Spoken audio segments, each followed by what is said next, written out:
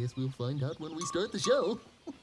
What's Steven looking for in the trunk? What you doing, Steven? I'm getting some puppets for our show. Oh, um, is everything okay, Steven? Not really. What is it? Um, I don't know. I guess I'm scared to be on stage by myself.